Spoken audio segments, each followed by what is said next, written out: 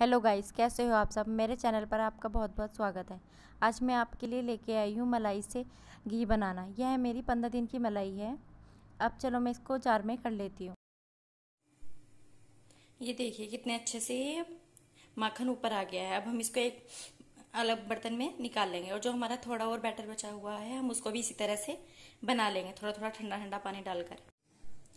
देखिए कितना अच्छा से घी बाहर निकल आया है। अब हम इसमें थोड़ा ठंडा पानी डालकर इसको एक बार धुल लेंगे ताकि इसमें जो खटास पानी थोड़ा सा वो बाहर निकल जाए। उसके बाद हम इसको घी बनाने के लिए तैयार करेंगे। चा, आप चाहे तो इसको बटर बनाकर भी रख सकते हो लेकिन मैं इसका सिर्फ़ घी ही बनाऊँगी।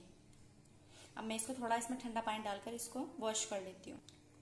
देखिए मैंने इसमें थोड़ा ठंडा पानी मिला लिया है। अब मैं इसको अच्छे से वॉश कर देती हूँ।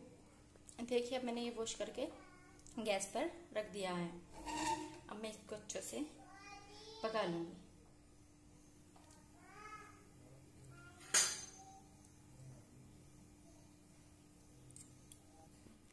अच्छे से पक जाता है, तब तक मैं इसको सिम गैस करके रख दूँगी। ये देखिए, ये अच्छे से अब बन गया है। इसे थोड़ी देर ठंडा होने देंगे, फिर हम इसको छान लेंगे। और ध्यान रहे कि सीधा किसी कांच के बर्तन में ना छाने। अब हम इसको छान लेंगे।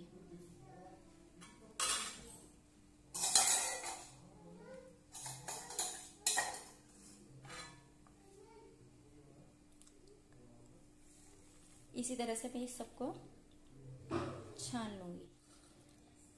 अगर आपको ये मेरा वीडियो अच्छा लगा हो तो प्लीज़ इसे लाइक करें, शेयर करें। अगर और मेरे चैनल को सब्सक्राइब करें। Thank you, bye bye.